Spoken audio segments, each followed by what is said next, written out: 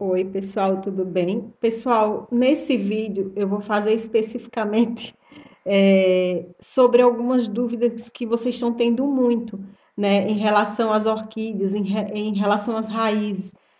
Pessoal, algumas inscritas estão tá me mandando mensagem perguntando, Maria, as minhas orquídeas estão saindo do vaso, é, as raízes, né? Então, assim, pessoal, sempre que as orquídeas de vocês é, tiverem saindo do vaso, né? É porque o que, que acontece? Ou o vaso está muito pequenininho, ou ele não está tendo umidade ali dentro, e aí acaba que as raízes vai procurar umidade fora. Fora onde?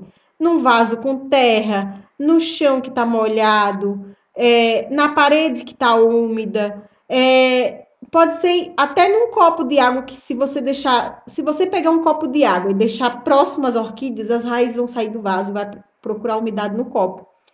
É incrível isso, né? Mas acontece. Por quê? Porque as orquídeas gostam de é, ficar onde tem água. Não que elas gostem de ficar com as raízes encharcadas, mas elas sempre procuram lugar mais úmido. É tanto que eu sempre recomendo para vocês, quando morar num lugar mais quente, plantar no vaso de plástico. Por quê? Porque o vaso de plástico ele, ele com, com, fica fechadinho ali e concentra mais a umidade. Mas é como?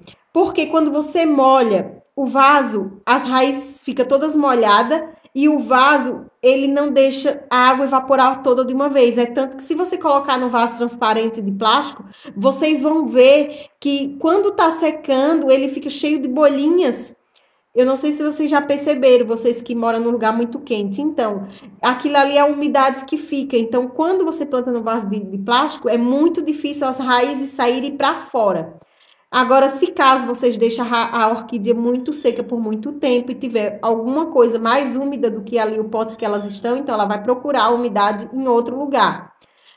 Aí teve uma inscrita que falou, Maria, o que, que eu posso fazer? De duas, uma. Ou vocês têm que trocar o vaso que ela tá, porque uma falenópolis, quando tá com a raiz muito cheia, o vaso tá muito cheio, igual essa aqui minha, ó.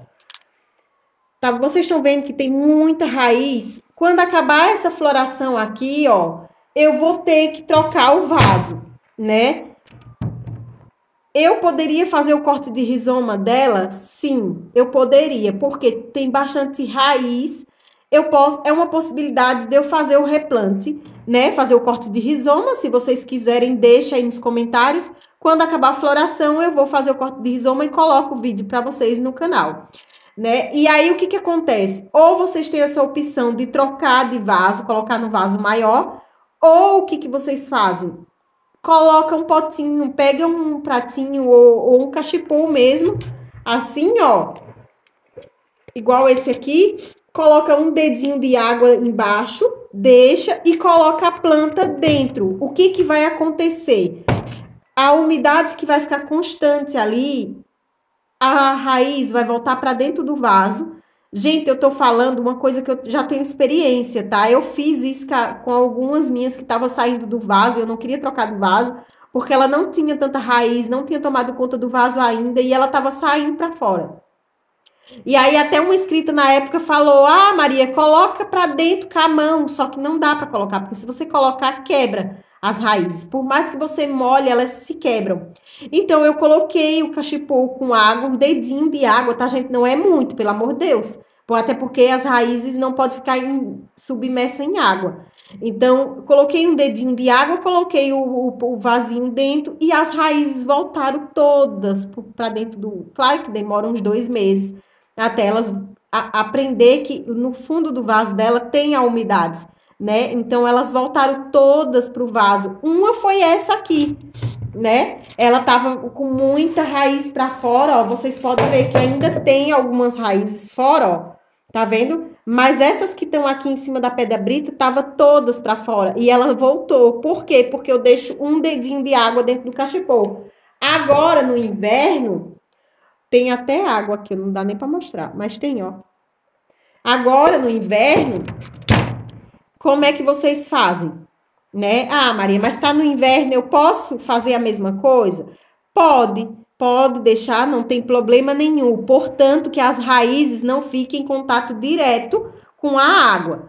tá? Se caso vocês pegarem, colocar um dedinho de água, e aí vocês vão me perguntar, ah, Maria, e o tempo? Pode deixar a semana inteira ali com aquela água, pelo menos até as raízes aprender que tem umidade ali embaixo e que, vo que você não vai precisar é, colocar. Não é que, que vocês vão colocar um dedinho de água embaixo que vocês não vão regar a orquídea, tá, gente? Não. O dedinho de água embaixo é só para manter a umidade que você não consegue dar ao redor dela, né? Porque eu sempre ensino para vocês, quando for querer plantar orquídea em vaso com pedra brita, coloque planta com terra do lado. Só que muitas inscritas me reclamaram que tá dando mosquinha. Então, quando dá mosquinha, o que, que vocês fazem? Você tem que diminuir a rega da planta que tem terra, tá, gente? Não é parar de molhar as orquídeas. É simplesmente molhar menos as plantas de terra. E aí as mosquinhas vão morrendo, porque as mosquinhas vêm por causa do, às vezes, esterco de gado, esterco de galinha, né? O substrato, a terra que tem muita coisa, então elas vêm por causa disso, tá? Não adianta vocês quererem ter uma orquídea dentro de casa no escuro, gente, tá? Teve algumas, eu não sei nem se está escrita no meu canal, mas comentaram nos meus vídeos que, que tem orquídea no banheiro. Teve uma moça que colocou uma catilé no banheiro e ela deu a podridão e ela morreu toda, amarelou toda. Gente, eu já falei para vocês mil vezes, orquídeas são orquí são uma espécie de planta, né? Principalmente as catileias, tá, gente? Quando as catileias começam a amadurecer um bulbo, tá? Para não dizer que fica podre. Quando, quando um bulbo de uma catileia fica escuro, amarronzado, é fungos. Ou você corta ela e tira aquele bulbo fora e vai cortando até não ver mais aquele fungos nenhum.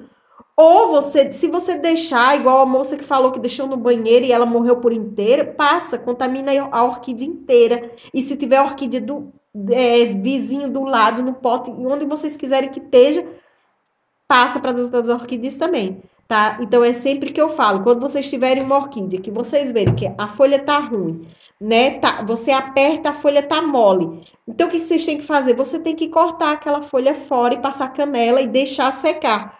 Por quê?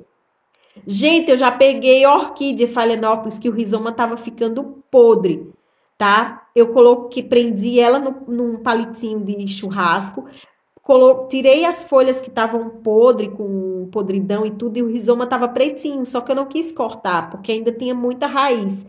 Então, e também para você cortar uma raiz de uma phalaenopsis que tá assim, vai levar anos, gente, para ela florescer novamente, às vezes até cinco anos, uma phalaenopsis para ficar adulta e florescer, um bebê demora muito, então não vale a pena né? Então, o que, que vocês vão ter que fazer? Vocês tiram as folhas que tiverem mole ao redor do rizoma e passa canela.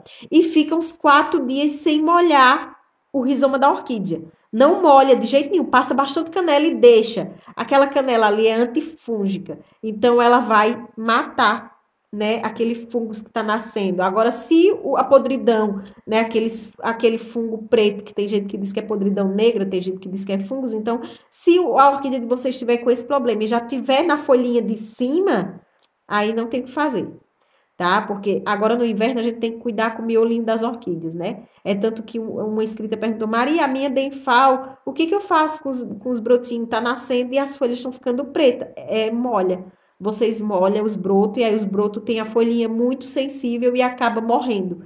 Por isso que a importância, gente, de vocês, quando for molhar uma orquídea, se tiver brotinho novo, coloque um baldinho com água, coloque o potinho da orquídea dentro que não pegue nos brotinhos novos, principalmente das denfal, que elas têm um, ela cresce o brotinho dela, tá? Para cima e fica cheio de buraquinho. Então não dá para é, para molhar ali dentro, que se você molhar, a folha morre mesmo, morre. Só que o que acontece? Se você parar de molhar, ele vai continuar crescendo e aquela folha pretinha que ficou ali preta, que, que apodreceu, ela sai com o tempo e nasce um broto novo naquele mesmo broto. Não quer dizer que esteja preto que está morto. Tá? Se tiver verde ao redor e só a folhinha de dentro tiver verdinha, vocês não precisam tirar fora, tá? E é isso, gente, né? Eu sempre peço para vocês a umidade, cuidar com a umidade. Se vocês não têm possibilidade de, de de ter plantas dentro de casa ao redor da, das orquídeas, né? Então vocês peguem ou molhem mais as orquídeas que tiver no tronco. Vocês têm que molhar mais vezes. Por quê? Porque elas secam. Mas vocês podem ficar até dois, três dias sem se preocupar, né, tá? Não é porque eu vou colocar uma orquídea num tronco que eu vou molhar todos os dias. Não tem necessidade. A não ser que seja um dia muito quente. Mas como a gente tá aqui no inverno, tá muito frio, então não precisa, tá? Mas quem mora no Nordeste tem que molhar todos os dias. Tá, pessoal? Esse é o vídeo de hoje, né? Fazia muito tempo que eu não fazia um vídeo desse para falar com vocês alguma coisa, mas assim, ó, eu espero que vocês gostem e qualquer dúvida de vocês, me coloque aqui embaixo nos comentários, né? Eu quero muito agradecer a todos vocês que se inscreveram recentemente no meu canal, a todos que estão vendo meus vídeos quando eu posto, tá? Eu sempre posto segunda, quarta e sexta, raramente eu vou postar um vídeo no sábado, né? Então, mas esse aqui eu vou postar porque é um vídeo diferenciado, só de algumas perguntas. Então, quando eu faço vídeo desse tipo, eu gosto de postar no sábado para ficar melhor para vocês até também, que tem gente que está em casa e entende melhor. Tá, pessoal? Então, esse é o vídeo de hoje. Fiquem todos com Deus e até o próximo vídeo. Se Deus quiser, tenha um ótimo final de semana para vocês, um domingo abençoado, né? Que Deus abençoe cada um de vocês e gratidão a todos, tá? Um beijo para todo mundo. Fiquem todos com Deus e até o próximo vídeo, se Deus quiser.